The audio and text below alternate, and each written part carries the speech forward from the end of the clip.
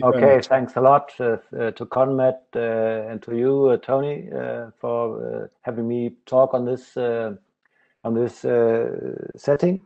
I'll talk a little bit about capsulotomy and capsular management and and how I preserve the capsule working through interportal capsulotomy.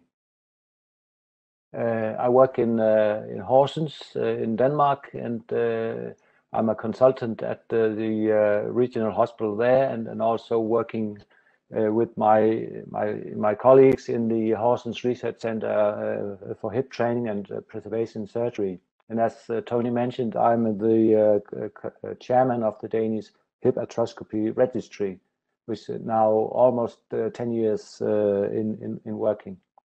These are my disclosures.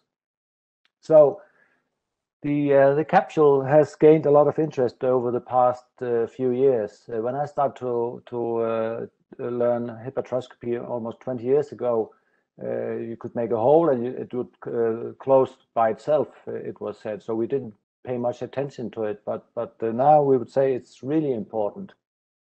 Um, and especially in young patients and in females where they tend to have or show greater joint uh, hyperlaxity, and also in patients with uh, generalized or localized uh, hyperlaxity, and of course, in patients with borderline dysplasia. Also, when you do the distraction on the table and the hip comes right out with not too much effort, you should pay close attention to the capsule. And of course, if you do a large capsulotomy, Uh, a T-cut uh, uh, capsulotomy, you should close it. So uh, this is a rare occurrence, but it's been described in literature, iatrogenic um, dislocations. I have a Swedish colleague that performed a procedure on um, a an athlete, and when he went to see her, when she went back to uh, field and tracks, she dislocated her hip in the stadium when he was uh, attending. So it it can happen. So, uh, I think in in in our daily life, micro-instability is probably much more common than more gross instability. So that's something you have to be aware of. Just to look a little bit on the anatomy, the iliofemoral ligament is uh, a front part of the uh, capsule, and it's a very strong ligament, and you are cutting right through it if you do an interportal uh, cut to gain access to the joint. We already saw in the nice talk from Professor El-Sayed on the portals, and I use the same portals. You have the anterior superior iliac spine to the left. This is the left hip. Uh, you have the greater trochanter, and I use the anterolateral portal as he did uh, for my first uh, access to the joint when when we have traction. And then I use a modified anterior portal, what we call a mid-anterior portal, for my working portal. And uh, I'll just go straight on to talk about my or how I shoot suture the capsule. Uh, I do an interportal cut. I connect um, uh, most often, I connect both uh, portals inside the joint, and in order to that, you have to make a capsulotomy about eight to ten millimeters away from the labrum and away from the rim. I do my entry into the joint, make two both portals, and then I do the capsulotomy at the beginning, and then I do my diagnostic round after that. It's very important that you uh, do not excise too much tissue because you're uh, going to need some tissue in in order to be able to repair the labrum at the end of the procedure. Uh, here you have an intraoperative view where you have the head on top, you have the labrum on the left, and you have the capsule on the on the right side, and you see the tip of the beaver blade. And, and the, the incision goes along perpendicular to the labrum Uh, in the capsule. So you have to stay a little bit. You you don't want to get too close uh, down on the rim. So only make a T-cut if uh, necessary. I know in some in some countries, they do a big T-cut capsulotomy. I think here in Europe, most people will make a a small interportal or even two small holes. So this is about the place where the capsulotomy is. You connect from about 12 to 3 o'clock position. And um, then I, when I'm almost finished with my central compartment, I place the camera in the mid anterior portal and then I place my first capsular suture in the uh, anterolateral capsule and secure it with a clamp. You see it here, uh, and I'll show it in the video uh, later on. And then I move the camera back to the anterolateral portal and release traction and flex the hip. And then I can finish the uh, uh, the, uh, the osteochondroplasty on the femoral neck. And at the end of the procedure, I can then place the second suture in uh, front in the anterior capsule. And then at, at the end, I remove the camera and uh, I close the uh, lateral capsule on the suture that I placed first. And here's how it looks. It's an interportal capsular closure and I'm uh, using a number two Vicryl. You have the camera in mid anterior portal.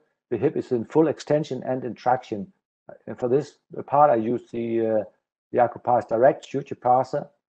Uh, it's a looped uh, suture. I'm looking from uh, mid anterior down to anterolateral at down on 12 o'clock. Uh, you have the labrum on the left, and I already did the uh, labral repair. I introduced the suture passer with a half pipe, and then I grab the posterior part of the capsule, release the, the suture, and then I use the, the suture pass just to, uh, to pop it further into the joint. And then I grab the anterior part of the capsule, and sometimes it can be a little tricky to uh, to grab this, this uh, the suture uh, with the suture passer, and sometimes you have to to uh, pull back on the suture on the outside so that it comes uh, into reaching range. And then you just pull it back out and then you have a double looped uh, suture going outside. And you when you pull on it outside you can see that you have a good firm grip on the uh, the capsule.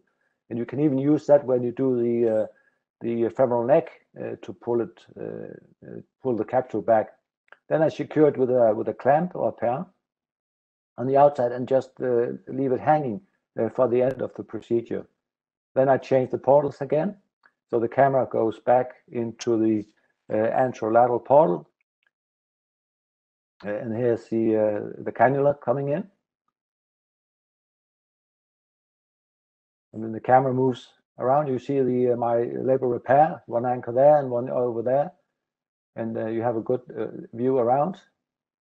And then I finish the the surgery in both compartments. I, am putting uh, traction on the lateral suture just to help me.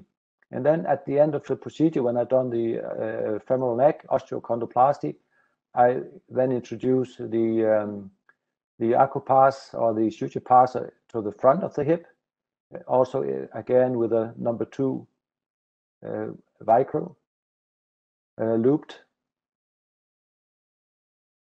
And the hip is in uh, 45 degrees of flexion.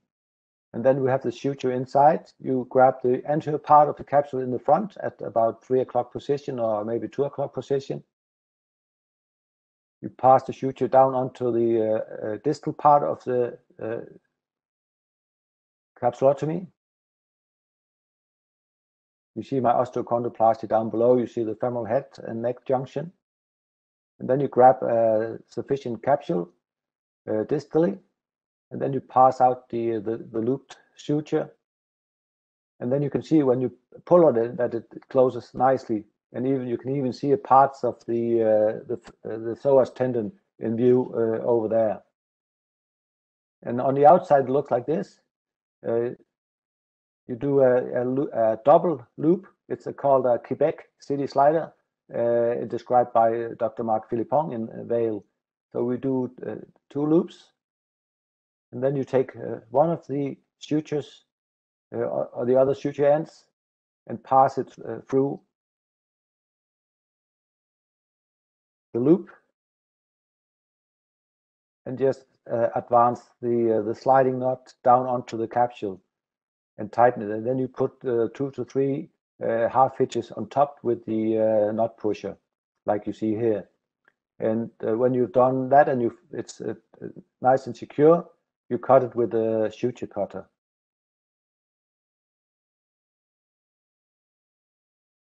And then you remove the camera because you know that the, the, the first suture you placed is in a, in a good position. And then you repeat the procedure. You do a double loop uh, with the uh, Quebec City slider, pass one suture through the, the double loop.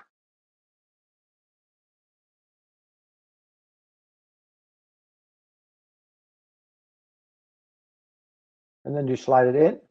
And you, again, you see it's a good, nice, tight uh, closure, and then you just put some half hitches on top of it, and that's the end of the uh, the capsular closure. Uh, I think it's a easy and a nice way to do it, um, and it's uh, reproducible. Uh, okay, uh, as I said in the beginning, there's a lot of uh, uh, talk about the capsule in, in, over the recent years, and uh, we started a, a multi-center RCT a couple of years back, and it's described in this uh, uh, paper in the the uh, BMJ Open. you can look it up. There are some also there are also some other studies on capsular closure out there, and we will be finished with this one very shortly. we almost finished with the inclusion of of patients. We we have almost uh, the uh, the required uh, 200 patients now. So thank you for listening.